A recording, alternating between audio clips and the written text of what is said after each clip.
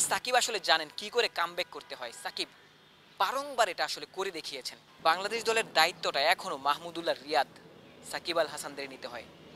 বাংলাদেশ দল তাদের বিশ্বকাপ মিশনটা যখন শুরু করবে, তার আগে প্রপার প্রস্তুতিটা কি করতে পেরেছে? সারতে পেরেছে ভালো একটা প্রস্তুতি?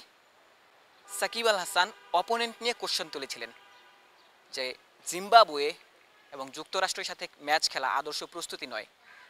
কিন্তু ভারতের বিপক্ষে তো বাংলাদেশ ম্যাচ খেলেছে। সেই ম্যাচে ক্রিকেটাররা তাদের সামর্থ্য অনুযায়ী খেলতে পেরেছেন। ক্রিকেটাররা আদর্শ প্রস্তুতি কি নিতে পেরেছেন। নাজমুল হোসেন শান্ত, তার আগে ওপেনাররা সৌম্য সরকার, লিটন কুমার দাস বেশ লম্বা সময় ধরে আসলে ফর্মের সাথে লড়াই করছেন। বাংলাদেশ দলের দায়িত্বটা এখনও মাহমুদুল্লাহ রিয়াদ, সাকিব আল হাসানদের নিতে হয়। সাকিব আল হাসান, যিনি বাংলাদেশ দলের নিউক্লিয়াস বলা যায়, ব্যাটিং, বোলিং দুই বিভাগেই বেশ লম্বা সময় ধরে গোটা ক্যারিয়ার জুড়েই সতেরো আঠারো বছর ধরে আসলে তিনি বাংলাদেশ দলকে সার্ভিসটা দিয়ে যাচ্ছেন। তিনিও হয়তো ফর্মের সাথে লড়াই করছেন। ব্যাটিংটা ঠিকঠাক হচ্ছে না বেশ লম্বা সময় ধরে, তবে বোলিংয়ে কিন্তু তিনি আসলে বাংলাদেশ দলকে সার্ভিস যে কোনো সময়, যে কোনো মুহূর্তেই দিতে পারতেন। জিম্বাবুয়ের বিপক্ষে একটি ম্যাচে যেই ম্যাচটিতে বাংলাদেশ হেরেছিল, শেষ ম্যাচে তিনি চার উইকেট নিয়েছিলেন। দুর্দান্ত বোলিং করেছিলেন, দশের কম রান দিয়েছিলেন তিনি আসলে, নয় রানে চারটি উইকেট নিয়েছিলেন।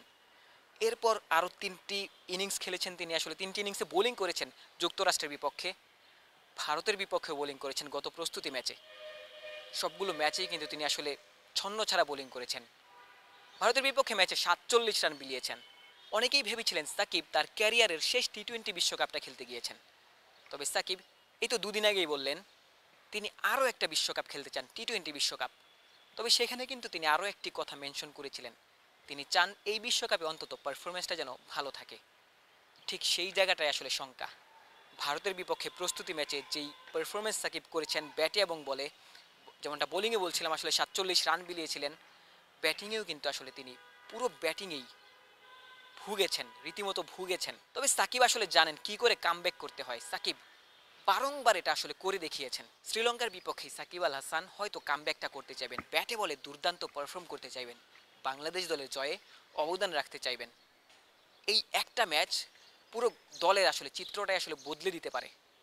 বাংলাদেশ দলের আত্মবিশ্বাস তুঙ্গে তুলে ফেলতে পারে এই একটা মাত্র ম্যাচ, শ্রীলঙ্কার বিপক্ষে ম্যাচ।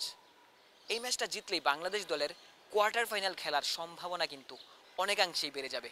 কারণ এর পরের দুটি ম্যাচ নেদারল্যান্ডস কিংবা নেপালের বিপক্ষে জয় পাওয়া হয়তো বাংলাদেশ দলের জন্য অত বেশি কঠিন হওয়ার কথা নয়।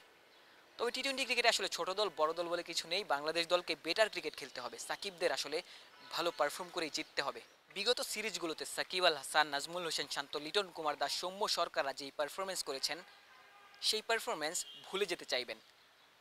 বিগত দুইটি সিরিজেই এবং ভারতের বিপক্ষে প্রস্তুতি ম্যাচেও প্রত্যেকেই নিজেদের ছায়া হয়েছিলেন। তারা প্রত্যাশা করবেন, ছায়ারা সরে যাবে, সূর্য উঠবে।